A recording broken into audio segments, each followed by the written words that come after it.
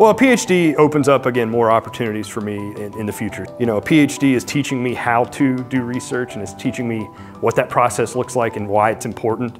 Um, that's been really eye-opening for me as far as uh, the world of academia goes and whatnot.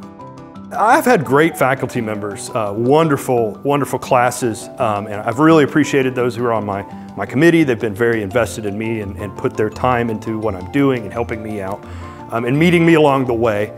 Uh, I think what's really cool that they do is they understand I'm a working professional and uh, they, they, they meet me where I am and they help me and support me in a way that's gonna get me across the finish line. Uh, like I said, I took the scenic route, but uh, I'm gonna get there eventually. Um, but my mom's always had a musical background. My grandmother was always very musical. Uh, my mom's side of the family is very much to, to blame for all of this.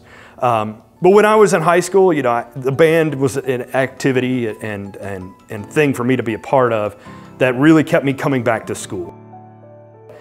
I woke up each day thinking, all right, if I can make it to third period, you know, I've at least got something I'm looking forward to today.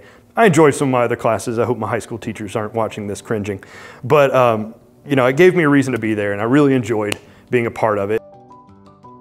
I decided I wanted to be a band director because I wanted to share that experience with my students. I wanted them to have a reason to come to high school, um, have a reason to uh, want to be excellent at something. This is my 14th year of teaching.